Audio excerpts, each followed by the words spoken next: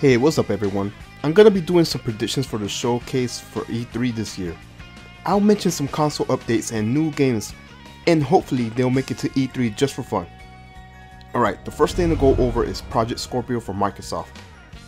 First, we should be able to get an official name for it. Oh, also, we gotta finally see the official look of the console, and maybe a VR edition for the Xbox One or Project Scorpio. Aside from visual upgrades and being a powerful console, we have to see what Project Scorpio has to offer. Okay, the Nintendo Switch has officially launched this year, so what better time to announce games but in E3? Maybe Nintendo could showcase the new Mario Odyssey game, maybe more exclusive games. And now that we mentioned Nintendo, they finished selling all their batches of the NES classics. Maybe Nintendo could take advantage and start marketing on the SNES classics. Just a thought I would like to share. Alright, so it's been a while since we got an update from Rockstar for Red Dead Redemption 2. Maybe we could get some gameplay or another updated trailer. Red Dead 2 is definitely going to be a hot title that shouldn't be missed on E3. And while we're on the topic of Rockstar games, Rockstar could also tease a future GTA title. I mean, now is a great time. We don't need a full trailer or anything like that. Just a logo or something to hint a new GTA since Red Dead 2 is the current focus from Rockstar.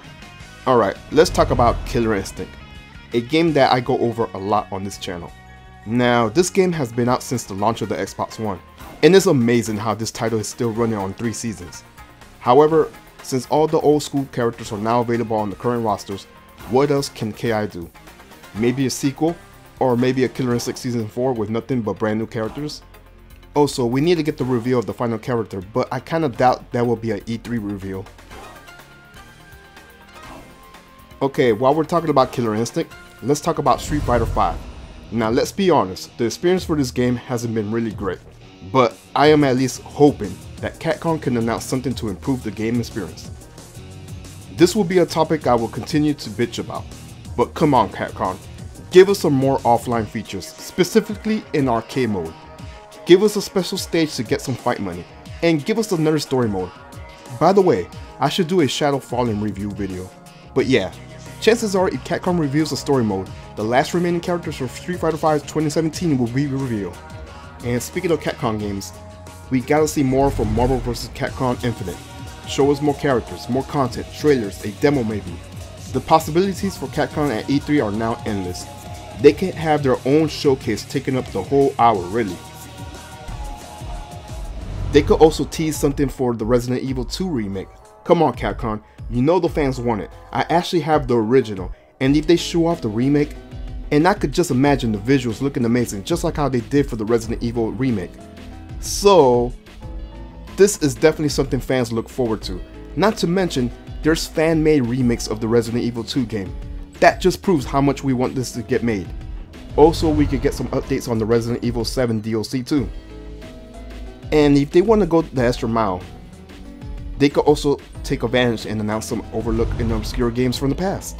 Maybe something like a new Ghosts and Goblins, a God Hand game, a Darkstalker game, a Devil May Cry game, Dino Crisis, Mega Man. so many titles on the Capcom game library. Capcom needs to do something with these titles. Okay, now this one is a stretch. But what's up with Kingdom Hearts 3? This is a title that should have came out last generation, to be honest, and it was teased a few years back on the launch of the Xbox One and PS4. So we gotta get an update. And speaking of long updates, what's up with Final Fantasy VII Remake? Oh boy, these Square Enix games and their fan favorite franchises take forever. I'm sure the wait will be worth it. Maybe. Okay, so the last game I want to go over and predict is Vein. This is a game made by Bandai Namco and it's a RP action game just like Dark Souls and Bloodborne. I love the visuals with the anime look, but with the Dark Souls mechanic. It has a great combo. Dark Souls, vampire, anime, awesome. Anyways, hopefully we can see more of this title at E3. Now, I'm sure there's more titles to go over, but honestly, I probably wouldn't care for some of them, like Call of Duty for example. But anyways, what are your predictions for E3 this year? What do you expect and hope to see at E3?